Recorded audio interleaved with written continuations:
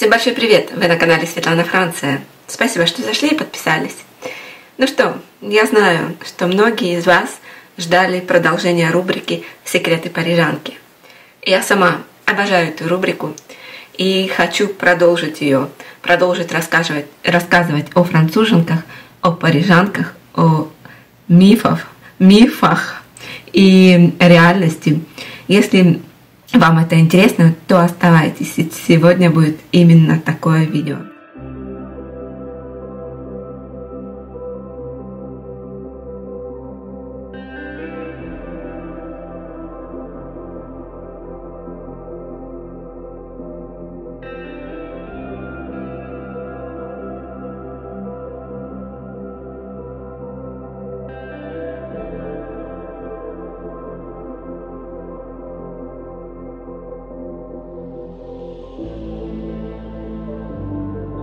Видео. И давайте сегодня поговорим о 10 или 15, да неважно сколько вещей, которые считаются нормальными во Франции, и, а во многих других странах, я не буду сегодня говорить в России или где-то еще, просто их эти, наверное, вещи не поймут. Итак, сразу хочу сказать, я никого не осуждаю, я никого ни с кем не сравниваю, я просто рассказываю мой опыт, мою точку зрения, и я всех люблю. Я люблю француженок, я люблю э, итальянок, я люблю русских, я люблю просто женщин. И соглашаюсь с очень многим, уважаю всех. Главное, чтобы не трогали мое личное пространство. Можно так сказать, или нет, или нет, или нет.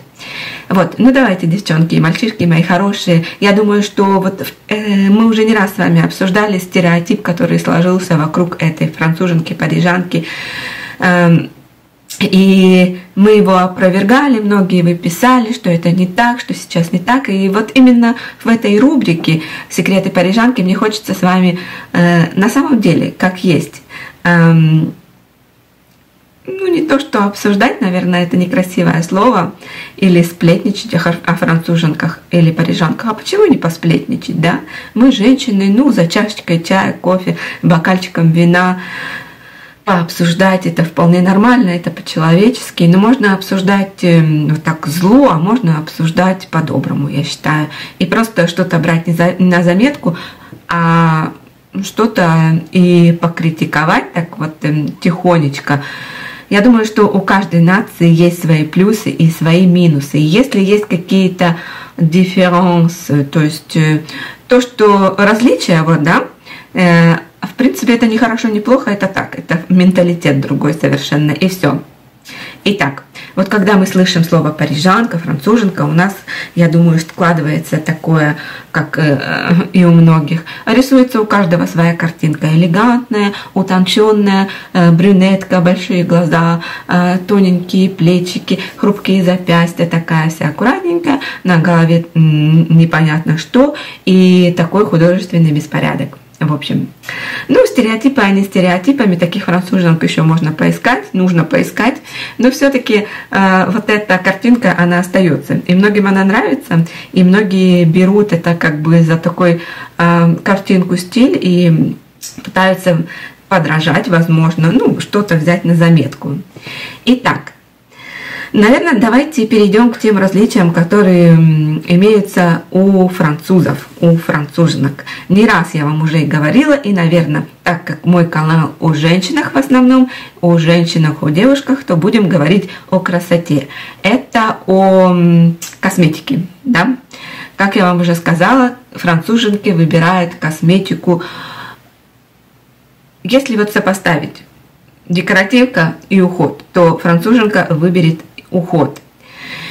Да, француженки предпочитают редко краситься, и они это сделали как бы таким своим ату, то есть я могу выйти без эм, макияжа на улицу, и, и я никого не стесняюсь, мне это нравится, и это, с одной стороны, здорово. Самое большое качество француженок – это то, что им на всех, как бы, не буду говорить слово наплевать, ну хотя уже сказала, да, они просто уверены в себе. И они предпочитают на самом деле редко краситься в реальной жизни. Хорошо ли это, плохо? Я даже не знаю, как вам сказать. Если ей так удобно, и если она чувствует себя комфортно, у нее никаких нет комплексов, почему бы и нет. Иногда можно и не накраситься. В принципе, я могу выйти за хлебом, прогуляться и не накрашенный, тем более сейчас маска, очки, маска, и все, тебя не видно. Но это, конечно, такие меры временные, будем надеяться. Но они, француженки, покупают очень много уходовой косметики. Вот недавно видела передачу, там у девушки просто француженки были тонны вот косметики, и э, все репортеры удивлялись. И если у нас вот на улице можно увидеть девушку или в машине, там, я не знаю, на улице не увидишь, э, в компании достает помаду, подкрашивает там бровки, глазки, что-то еще, то у француженок можно увидеть, как она достала из сумочки крем, в метро, нанесла его на руки, крем для рук. Или вообще можно увидеть, как в машине она наносит крем для лица увлажняющий. Ну а там всякие распыления, бомбочки и так далее для увлажнения. Это вообще, что ни на есть, самое такое ходовое.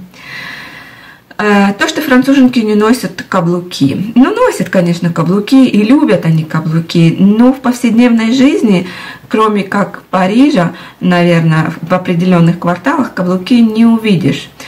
Говорят, что трудно встретить во Франции девушку на, на каблуках. Я думаю, что все зависит от... Эм, Э, каблука от сантиметров и какой он каблук сам по себе.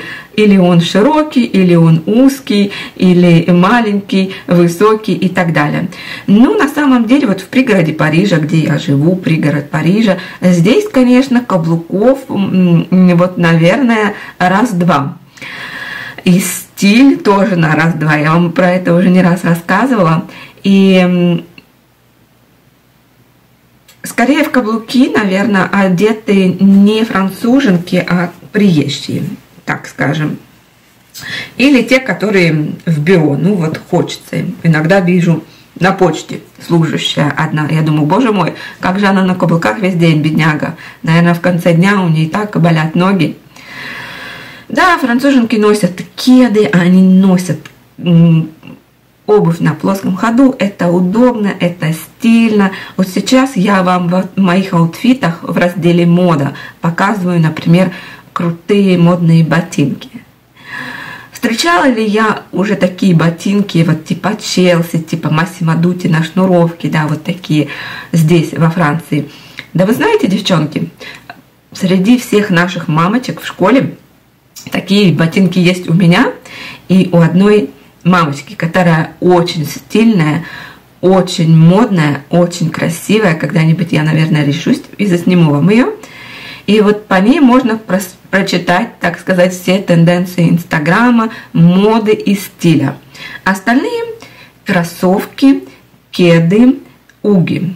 Вот знаете, в книге Инес де ла Фрисанж написано, что уги француженки не носят еще как носят, это тепло, удобно, и когда мамочка идет вот просто-напросто за ребенком, она носит.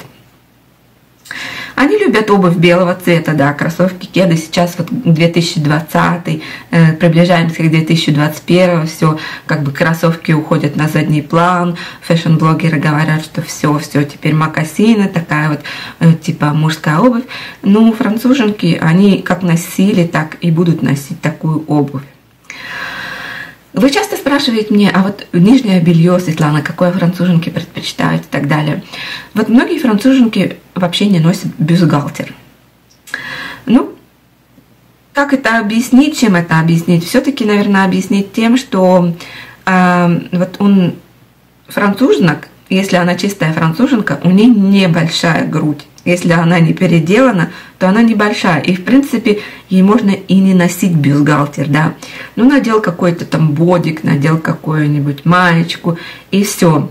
И, да, француженки не носят бюстгальтер. Вот, например, на выходные они не надевают бюстгальтер. И иногда можно даже вот увидеть летом э, футболка достаточно тонкая, кофточка, ты видишь, что нету бюстгальтера. Никого это не шокирует, ну, может быть, кто-то там посмотрит, ну, сказать, чтобы вот шокировать, нет. Конечно, если я со своей тяжелой грудью советской, русской не надену э, бюстгальтер, это будет, конечно, что-то с чем-то. Ну, пошутим, давайте откровенно так. Для француженок это э, такая часть гардероба, которая может быть и которая не может быть, да. Которая, ну, в принципе, хотя белья здесь, ну, очень много. Но если они же выбирают, наверное, бюстгальтер или вот такие вот треугольнички без всякой армату, арматюр, или вот иногда, хотя все магазины вот заполнены вот этими бюстгальтерами пушап, да, в общем, вот такие они француженки, они без комплексов и не стесняются. Ну а что им стесняться? Они уверены в себе. Они, вот эта уверенность э, в себе, это вот эм, на протяжении всех их жизни. И не страшно, что они не замужем, не страшно, что они на самом деле эм, вышли замуж или не вышли, или просто живут в гражданском браке, и им уже много за, и, возможно, у них есть ребенок вне брака. Но во Франции никогда никто не будет интересоваться, а вот почему ты не замужем? Ну, во-первых, это считается вот дурным тоном, дурным тоном спросить у француженки, почему ты не замужем. Вот личное вот это э, пространство, оно уважается, да. Ну, там может быть посплетничают между собой соседки, но вот чтобы спросить, а почему ты не замужем, вот так в лоб, или еще хуже, что, а вот ты не замужем, а тебе вот уже столько лет, а ты когда детей-то собралась рожать, а вот посмотри там, не знаю, София из соседнего подъезда, у нее уже там дети, да, а ты вот не замужем. Французы заключают брак достаточно поздно, поздно. Ну и сейчас вообще как бы, вот половина коллег на работе у моего мужа, они не замужем, не женаты, и многие просто-напросто живут отдельно, одни, и для них это вполне нормально. Но недаром э, Париж – город разбитых, одиноких сердец, так называют. И о детях они как-то, ну, я не скажу, что они вот прям вот задумываются, нужно к такому-то возрасту родить ребенка. И потом нужно второго сразу, чтобы были погодки. Вот, например, многие в Европе полагают, что в 25 лет девушка еще до такой степени, да и мужчина молода, что принимать такое ответственное решение на себя брать, как э, ребенок, это слишком ответственно, и не хотят они еще в этом возрасте заморачиваться, еще хотят пожить, погулять, попутешествовать и так далее. Они, конечно, возможно, где-то там в голове себе планируют, что э, в 30 у них, возможно, будут э, дети, а может быть и позже. Но пока нет материальной возможности, нужно снимать квартиру в Париже или где-то еще, она очень дорогая, нужно учиться. И, э, в принципе, здесь вот тоже как проблема как таковая, родить ребенка и не стать старородящей девой, здесь вообще не стоит. А, видим мои влоги, что вот мы живем со свекровью как бы в одном доме, ну, у нас разные этажи, еще раз уточняю, у каждого своя квартира, но так случилось, что мы живем в одном доме. И спрашивают, а вот как у французов? Как вот у французов после брака принято, не принято жить эм, с родителями? Но я хочу вообще сказать, что молодожены, в принципе, они должны жить отдельно. Но ситуации в жизни бывают совершенно разные. И кто как живет, это уже его дело.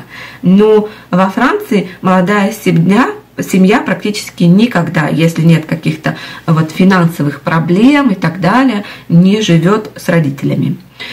А, после заключения браков. Для французов это ну, нонсенс, наверное, нонсенс, да.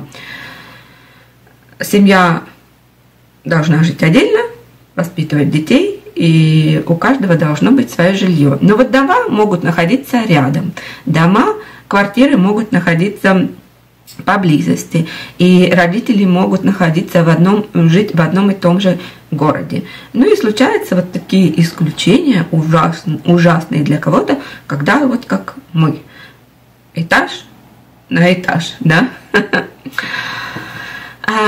Значит, про косметику мы с вами поговорили, про гардероб здесь уже большая отдельная тема, которую можно обсуждать просто вечность, и модные, и не модные, и какие бывают разные. Одно сегодня, наверное, скажу, что, в принципе, во Франции, ну, как-то вот не принято у них выставлять вот свое богатство на показ. Всякие вот эти вот кто-то недавно написал, Света, любишь ты люксовочки? Ну, в моем возрасте уже можно себе и позволить немножко э, качественных, хороших вещей. Да, на Инстаграме сегодня написала, позволяйте себе все самое лучшее. Вообще, как э, психология счастья и так далее. Посмотрите вот мой пост в Инстаграме, подписывайтесь, будем дружить. И вообще помогите мне набрать на Инстаграме 10 тысяч подписчиков. Зачем? Да просто для того, чтобы я могла активную ссылку на YouTube-канал Эм, ставить, тогда можно было просто кликнуть и переходить, а ничего не забивать в поисковике Google. Вот. И о чем мы говорили, что богатство не выставляют на показ, считается это вообще моветум, плохим тоном, рассказывать, что там у меня машина вот такой марки, или я не знаю, еще что-то, у меня там на счету вот такая-то сумма. Хотя брендовые вещи, это, конечно, другое совсем. Ну, бывают и часто встречаются у них сумочки люксовые. Вот у нас есть одна модная мамочка возле школы, а есть другая э, мамочка, э, как ее назвать, богатая, наверное, у которой с ног до головы один люкс. И для меня, я уважаю люкс, я вообще представляю, когда вы посмотрите, как отшивается та же сумка Dior, иногда вот на YouTube забейте э, Dior, и там вот показывается, есть канал, как отшиваются сумки Dior и так далее. Это просто произведение искусства. Это ручная работа, и понимаешь, почему они столько стоят таких бешеных денег. И вот когда ты смотришь на нее, и у нее, э, на нее, на нее, да, правильно сказала слово паразит, на эту француженку, то у ней конверсы Dior, сумка от Dior, платок от Louis Vuitton, э, что-то там еще, еще, еще. И вот когда вот это вот все вместе, вот это для меня мовый тон. Когда есть что-то одно, э, то для меня это хорошо, нормально, есть вкус, любят красивые дорогие вещи, но когда вот эта смесь, это вот ужасно. Но сегодня я говорю, что выставлять на показ богатство, то есть машины, я не знаю, рассказывать, сколько у вас там денег на счету, или, не знаю, как сейчас в, в, на YouTube модно, да, истратила миллионы и так далее. В общем, если можете себе позволить, позволяйте, почему нет? Но зачем об этом кричать на весь свет, да? Здесь уже как бы воспитание не то. Ой, про прически, про волосы француженок. Но здесь просто легенда, все поросло былью и мифами, и не мифами. Ну да, но сейчас вообще вот пошел такой тренд на простые прически. Вот, я отрастила свой цвет волос практически. У меня есть белирование. Вот, длину. Отрастила челку. И у меня вот сейчас чисто французская прическа. Помыла, но правда я посушила. Вот я сушу еще, делаю брашинг вот этой щеткой. А француженки просто завернут, и вот такая небрежная волна, челка – Вообще у них достаточно густые, такие плотные волосы.